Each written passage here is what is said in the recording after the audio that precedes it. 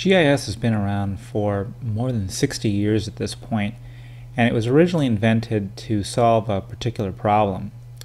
Uh, in the early 1960s, the Canadian government passed a law requiring the inventory of lands throughout the country and the classification in terms of their usefulness for agriculture, for timber, for other types of uses.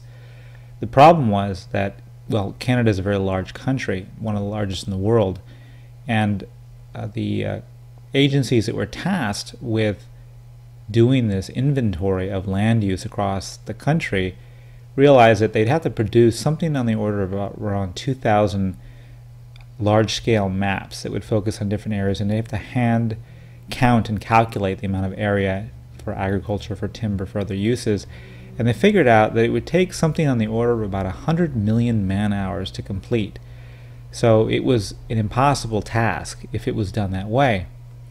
Well, along came a man by the name of Roger Tomlinson who was working for um, a private surveying company, and they paired up with IBM and the Canadian government, and they developed a way to use computers to automate the task of essentially counting all the different types of land use across all these different maps, which of course had to be converted into a digital form. But the process made it possible to do this enormous task that otherwise would have been nearly impossible had it been done manually. Well, and life's never been the same since because geographic information systems turned out to be really useful on a lot of different fronts.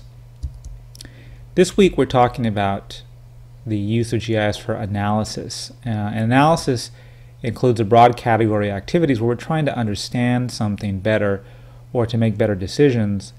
Uh, and it often comes down to asking series of questions. So commonly with GIS, we use it to ask questions relating to the relationships between different layers of data.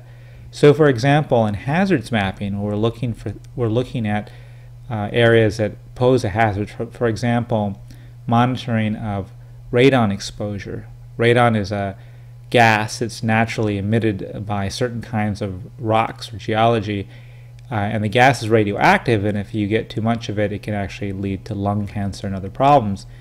And there are active monitoring programs to help people uh, deal with it um, or and identify it. So one common problem might be, for example, to identify areas that are likely to be exposed to radon gas. And so we know what types of geology are associated with the presence of radon gas. So imagine that we had a couple of layers. We'd have a layer showing where people lived, residential areas, and then we have another layer showing the geology underlying the same area. Looking for the areas that intersect, that is to say, that show residential areas that are have that are commonly or come into contact with those types of geology can help us identify more efficiently what areas to target in terms of outre outreach and education.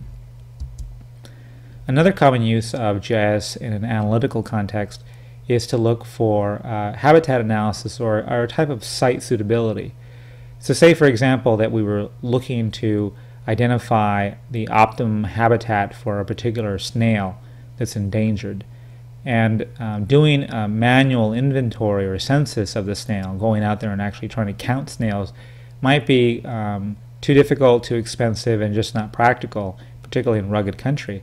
But let's say instead that we could talk to an ecologist or a biologist who knows what the snail needs to survive, so can kind of predict where the snail is likely to occur. And so the ecologist or the biologist tells us, well, the snail only lives in certain elevation ranges, right? Say above 1100 feet or so. And the snail needs certain kinds of soil type, uh, which tends to ha have a high calcium content, and that's associated with limestone, which is a particular type of geology.